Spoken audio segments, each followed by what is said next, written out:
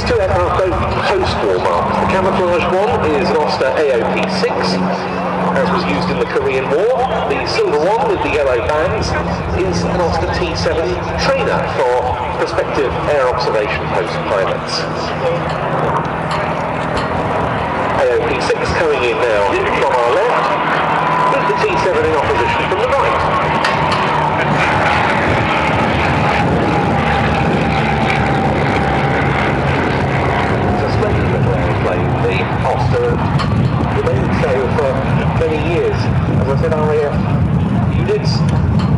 Oscars to the Korean theatre from 1950 to 53. This was before the Army Air Corps was established as an independent entity.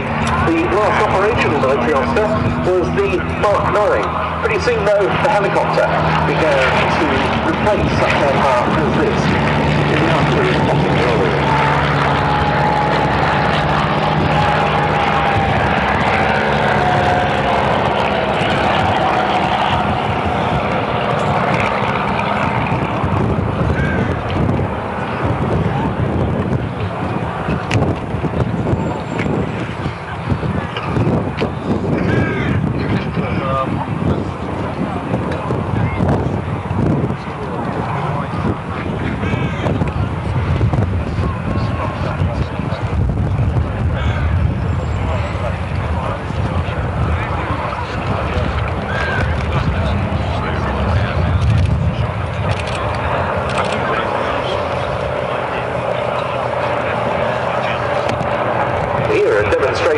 the AOP-6 that comes in some of the lift devices fitted to the wing. The base on the earlier observation wasn't quite so impressive as on the later marks, but all of that soon changed.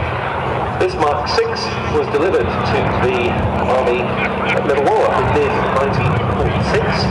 Then, as I say, operated by RAF squadrons with the Army Air Corps Centre at Middle Middlewar until 1952. It went to 657 Squadron, it went on to serve with the British Army of the Rhine in Germany.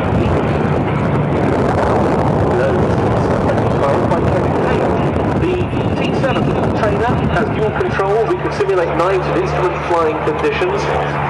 First flew in 1947